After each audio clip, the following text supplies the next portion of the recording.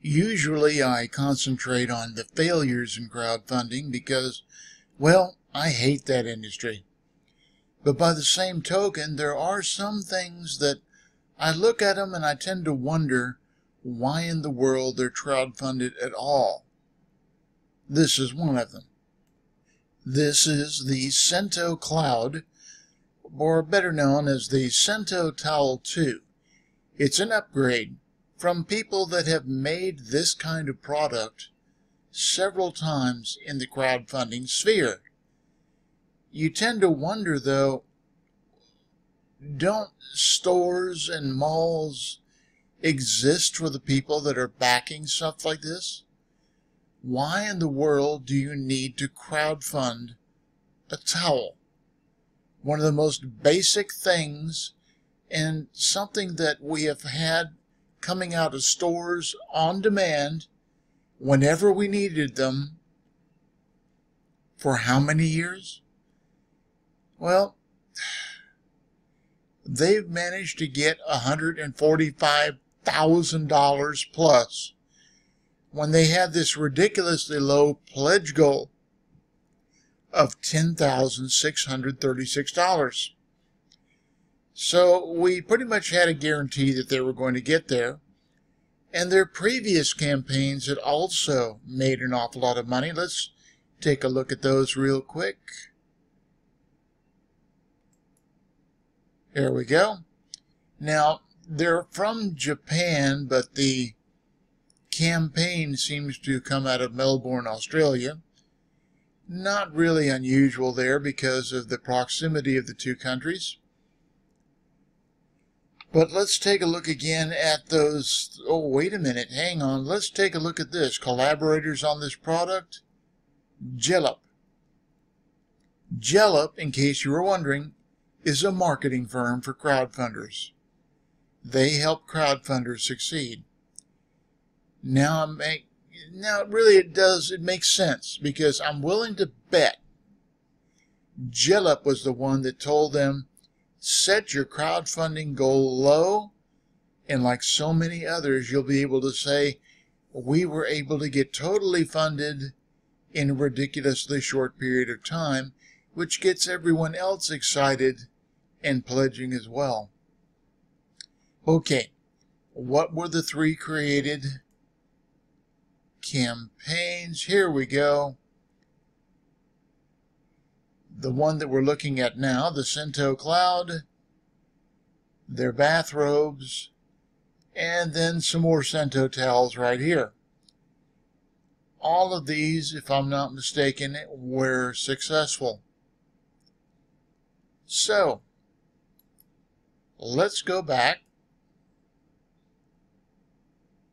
and let's take a look at what they're going to do to sell you on the idea that you have to crowdfund a towel. A towel, mind you.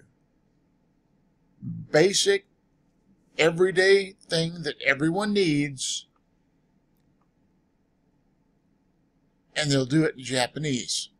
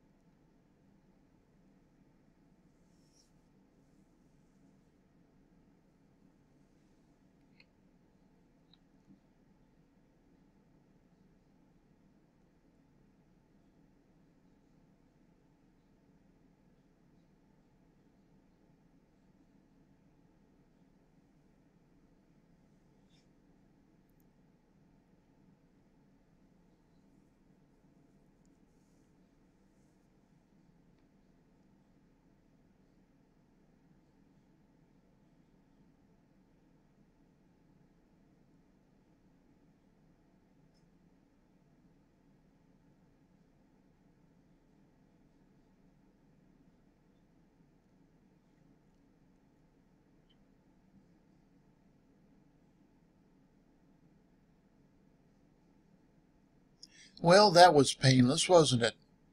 The problem, of course, is that if you look at some of the claims that they were making in the video, this is supposed to be the world's best bath towel 2.0.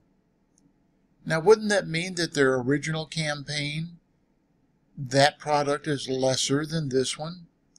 You know, little minor logic lapses that you can look at and say, hey, maybe this isn't as good as we think it is. And, well, just now up the street at the mall, I can probably get something very much like this. But no, they've created an exciting thing that says you've got to have it. You've got to wait for us to source the material and crowdfund it and all of the other things that are going to delay it. Now, going into their comments section here, there's some things about the previous campaigns that start coming up. Not the least of which is you have the glowing things, such as this one from Kari.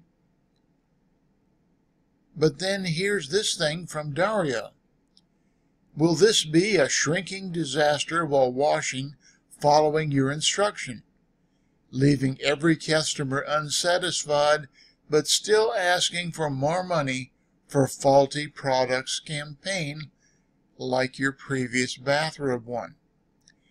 Now, I happen to have seen this fellow's posting about this in another forum.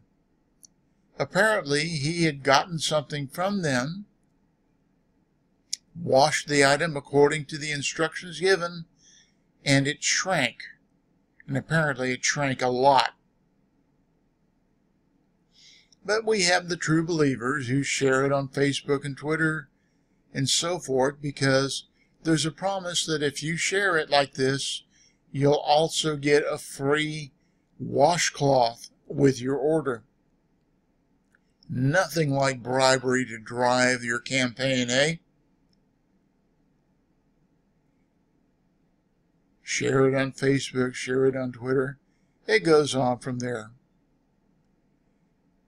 But wait a minute, a minute. This person canceled their pledge. Wonder what that's about.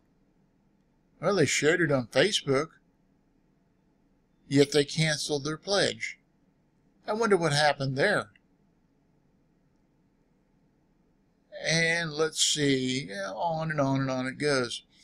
But if you look at some of the previous campaigns, there's an awful lot of discussion that the quality was not quite what they were expecting based on the campaign's promises. But you know what? It's your money. Spend it wisely. Buy something like this. Or maybe go to Amazon or your local mall or a shop down the street and see what they have. And maybe you'll discover that they have the best towel in the world or that all towels are the best in the world. This has been crowdfunding hell.